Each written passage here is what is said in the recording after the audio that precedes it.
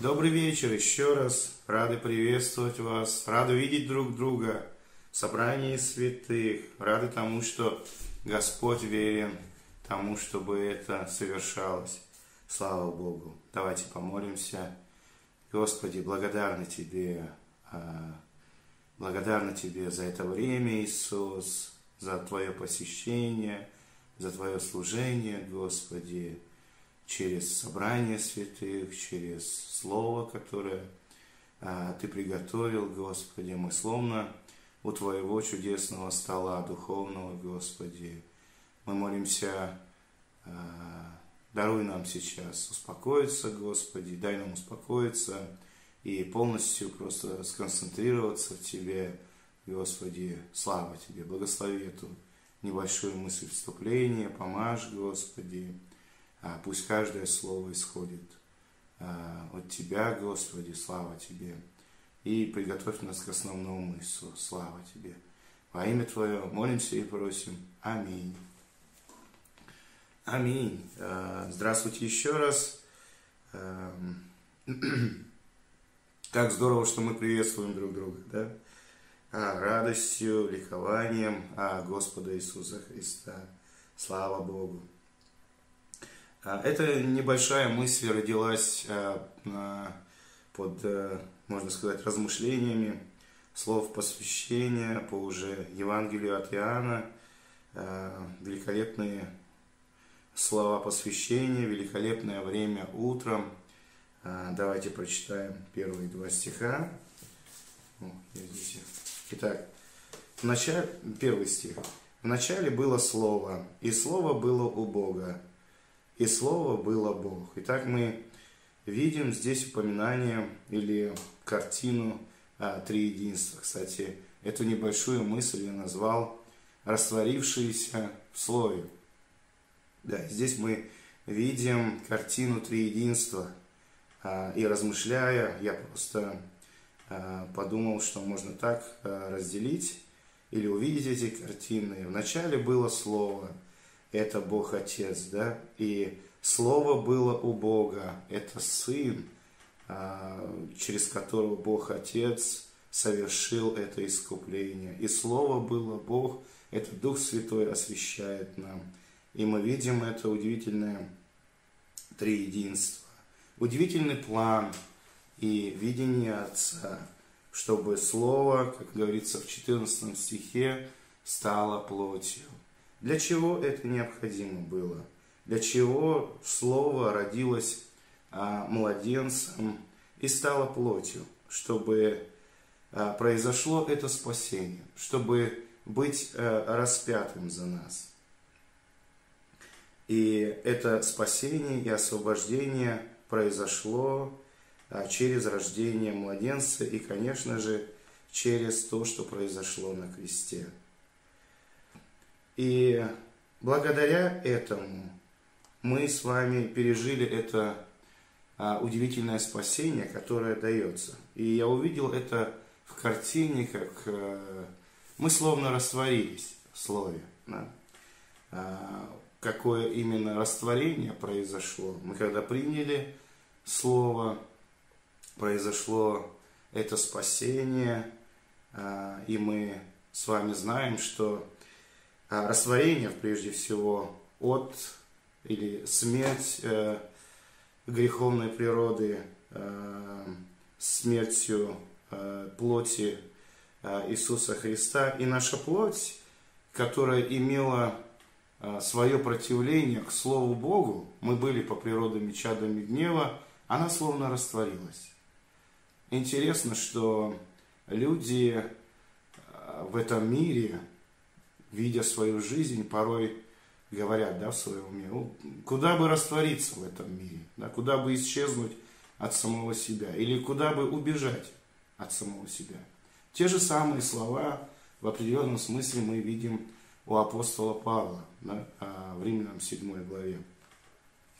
И а, Бог даровал это спасение, во-первых, спасение вечное, а, и также спасение нам путем тем, что растворяет а, нас, когда мы, как сейчас, сидим у, его ног и воспринимаем Его Слово. Это растворение происходит путем погружения восприятия и размышления над Словом Божьим. Здесь мы видим также такие откровения, как возрастание в этих откровениях, что все наши грехи растворились. А иногда мы это упускаем в нашей жизни, можем отходить, акцентироваться на этом. Но Дух Святой освещает нам, что перед Богом Отцом и э, эти грехи все растворились, прошлые, настоящие, будущие, и мы укрепляемся э, в нем э, уже новом Адаме и в этой удивительной истине. Э, и когда мы видим еще раз, что наши грехи растворены, от них ничего не осталось, когда мы сами растворяемся в этом Слове путем а, размышления да, в Слове Божьем. И когда мы растворяемся в этом Слове посвящения, как говорится в Римлянах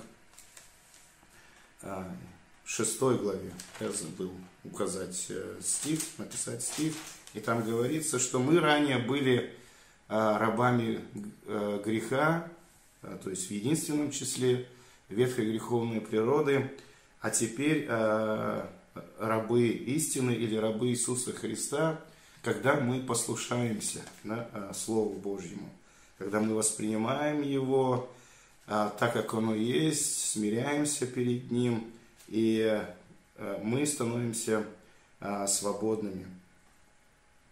Это удивительное э, переживание э, и чудесное переживание. Для нас удивительный опыт и чудо.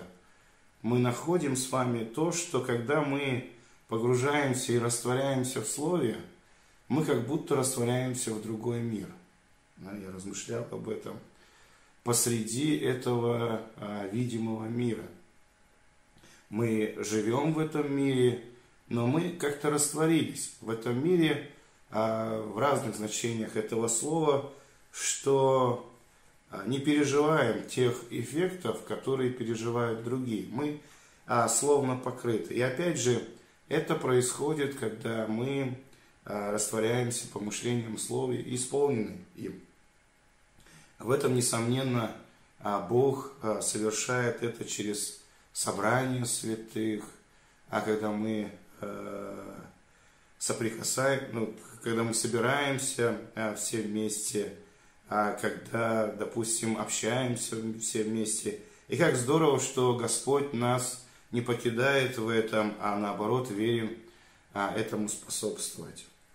Когда мы помышляем о Слове Божьем и живем в Господе Иисусе Христе, Господь э, благословляет тем, что э, происходит другой эффект уже, да, то есть э, эффект реагирования нашей природы, э, противления уже нету, но идет эффект новой природы, да, то есть самого Господа Иисуса Христа через нас. И это удивительное откровение, что Он совершает и благословляет таким образом. Мы благословлены – и Он благословляет также и окружающих нас. Мы благословляемся Богом тем, что Он растворяет нас в Слове, и Он также производит этот удивительный эффект. Ну, например, как Иосиф, да, как он а, благословил своих братьев, несмотря на то угнетение, которое они принесли ему, на то предательство, можно сказать, которое было со стороны их.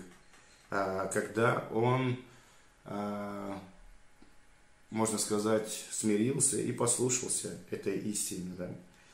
А, он благословил Патифара верностью своей, верностью Богом, прежде всего, которая издалась верностью Патифара.